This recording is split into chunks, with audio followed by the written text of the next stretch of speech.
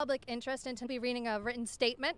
We will not be taking comment at this time, and we hope that this clears up some misinformation that has been put out there tonight. Thank you.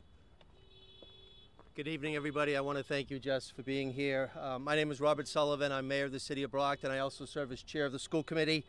I am joined tonight by all members of the Brockton School Committee here. We just met for four hours in executive session, and I'd like to read the following into the statement, into the record. Our focus collectively has always been and will remain on the students. We will make sure that the students in the Brockton Public Schools have a smooth return to school next week without distraction. It was recently brought to the attention of the Brockton School Committee that an approximate $14 million deficit exists for FY23's budget. Mr. Thomas informed the committee that he would be out on an extended medical leave and he did not attend our executive session this evening.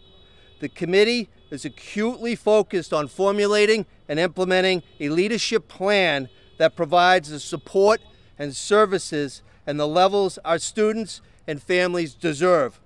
The Brockton School Committee met tonight to discuss next steps, and we will be noticing an emergency school committee meeting for tomorrow, Friday, 3:30 p.m. here at Brockton High School in the Rom Little Theater.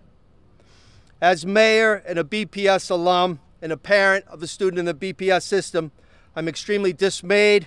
Collectively, we are all dismayed by the situation, and we are committed to ensuring that we will rectify this situation, appoint new leadership, and move forward with our strategy and our concise strategy to deliver the best schools for our teachers, our staff, our students, our parents, and of course our guardians.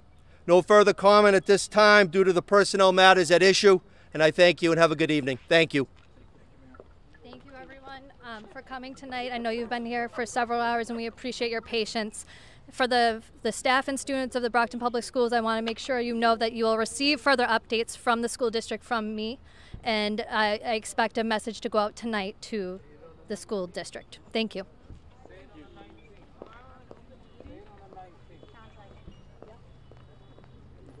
something.